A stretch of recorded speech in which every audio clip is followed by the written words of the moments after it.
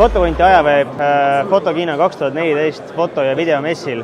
oleme Fuji väljapaneku juures ja meile on antud vaatamiseks äh, uus Fuji objektiiv, milleks on siis viiekümne kuue millimeetrine ava üks koma kaks äh, APD objektiiv ja me kohe vaatamegi, mida tähendab APD ja mille poolest on ta erinev eelmisest viiskümmend kuus millimeetrit ava üks koma kaks objektiivist. uus objektiiv erineb vanast ühe olulise omaduse poolest.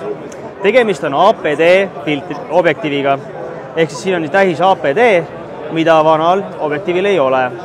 ja mida see APD tähendab? APD tähendab seda, et siin objektiivi sees on ringikujuline kiilfilter ND ehk siis lahtise avaga pildistades toimib see filter selliselt, et ta pehmendab bokee puhul kontrastsete servade, valgustatud servade alasid ja teeb selle bokee ilusaks ja pehmeks.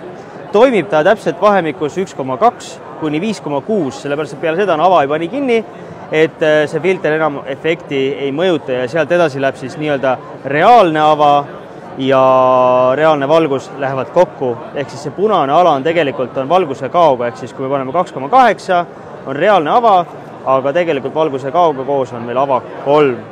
selline siis see Fuji viiskümmend kuus millimeetrit f üks koma kaks APD objektiiv. Äramärkimist vajab ka see, et tegemist on objektiiviga, mille puhul autofookus toimib selle filtri olemasolul, et reeglina kui selline filter on objektiivi sees, siis autofookus ei toimi, aga sellel objektiivil toimib nende Fuji kaamerate ees see autofookus